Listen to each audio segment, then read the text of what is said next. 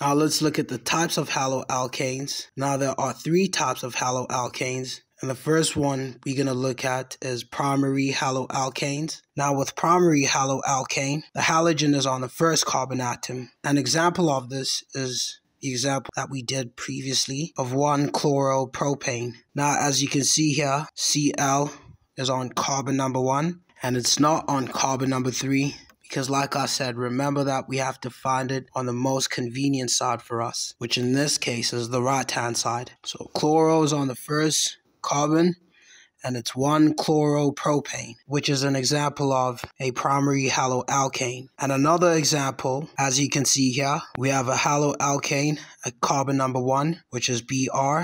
And now we have to start on the left hand side because it's easier for us to find the substituent. So Br is on the first carbon, yes. Even though there's a branch, BR is still on the first carbon. And let's not forget the alphabetical order when writing down, where we're going to say 1 for first carbon, hyphen, bromo, and then hyphen. On the third carbon, we get methyl on a butane structure.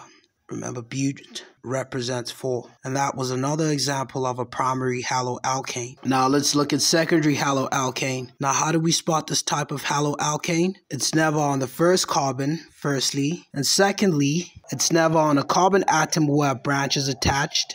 And if it's on a carbon atom where a branch is attached, it's no longer a secondary haloalkane. So it could be anywhere except the first carbon or carbon atom where a branch is attached. So we have a structure over here as a quick example. Now look at where Br is, carbon number 2, and it's not on the first carbon. And our structure consists of five carbon atoms. So how will we write this down as an IUPAC name? 2-bromopentane. Now that's a fitting example of a secondary haloalkane. Now let's look at another example. Now we have a structure over here and we have F and it's between two carbon atoms and not the first carbon, which would mean it's a secondary haloalkane. So our IUPAC name will look like this, 2-fluoro 4-methylpentane. Now let's move on to the tertiary haloalkane. And over here, the halogen is on the same carbon as the branch.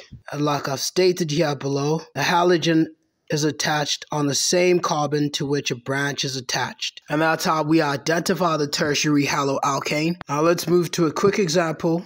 And over here, carbon number two has a methyl branch as well as bromine, which is our type of halogen. So when we write it down, our IUPAC name, it will be 2-bromo, 2-methyl butane. And that was just a quick example of a tertiary haloalkane.